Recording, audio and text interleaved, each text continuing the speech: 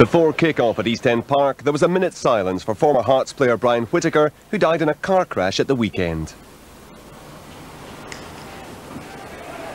The first half was virtually all one-way traffic, with Dunfermline on the back foot, as Hearts laid siege on the home defence, with Neil McCann on top form. Their first chance came as a result of Barnett's foul on the winger, McCann teed up Salvatori, whose shot was saved by Westwater, and Hamilton and Ritchie failed to convert the rebound. The pressure continued. Stefan Adam was next, heading past from Pointon's cross. The Dunfermline defence was struggling to cope.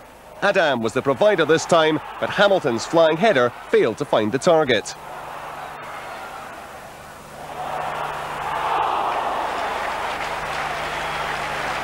Neil McCann continued to cause real problems. After Allan Moore lost possession, the Hearts winger found plenty of space for the run, but his shot was eventually disappointing. Westwater was called into action shortly after when Fulton's in-swinging corner was almost deflected in. Dunfermline at last began to threaten, and when the Hearts defence failed to clear properly, Curran sent in a cross, but Tod's header didn't trouble Rousset.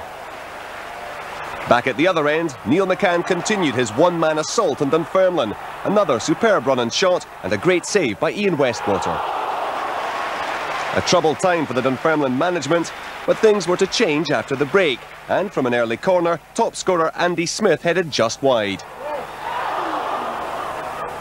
Smith caused further problems soon after, and Rousset had to punch clear under pressure from Barnett.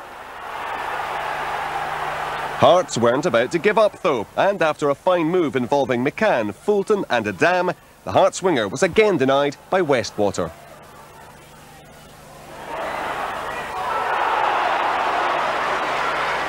And then, right at the end of the regulation 90 minutes, Stefan Adam broke through with a chance to win the tie. Westwater was again up to the task. Into extra time and Dunfermline hit back. Gilles Rousset only just scrambled away Andy Tod's volley.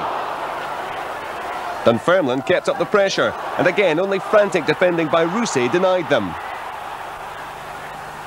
The goal finally came five minutes from the end. Westwater's long clearance was headed on by Bingham and Smith, and Allan Moore volleyed home.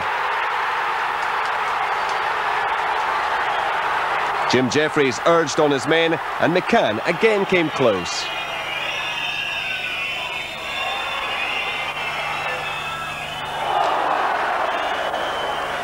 And then in the final minute, after another skillful run, McCann went down in the box after a challenge by Shields. Referee Mike McCurry waved away the penalty claims and Dunfermline clinched the semi-final place for the second year running.